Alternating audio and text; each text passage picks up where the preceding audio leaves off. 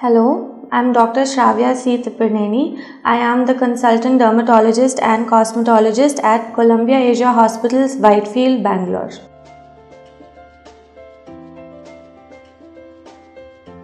There are different modalities of treating acne scars. As far as lasers are concerned, they have become the most effective and the newest modality to treat acne scars.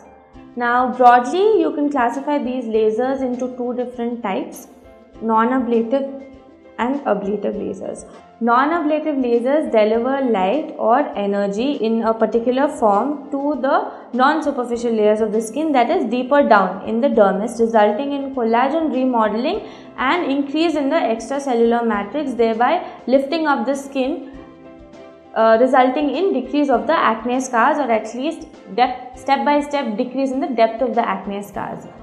Ablative lasers use photothermolysis to damage the superficial areas, superficial layers of the skin and thus the new skin which is formed is smoother and tighter. So this is also used in photoaging and wrinkles.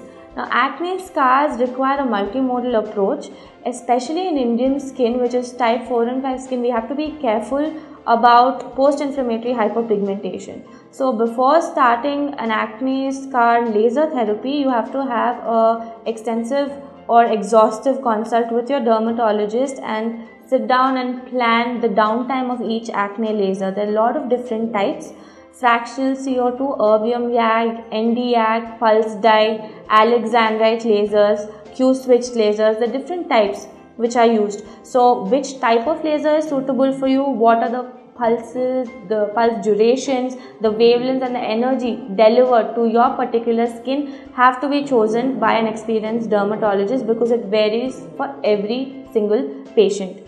There are downtimes also. These vary according to the type of lasers used the downtime for the ablative lasers is more, this uh, usually a few days to weeks, whereas for non-ablative lasers it might be only for a few days as it's not affecting the superficial layer of the skin.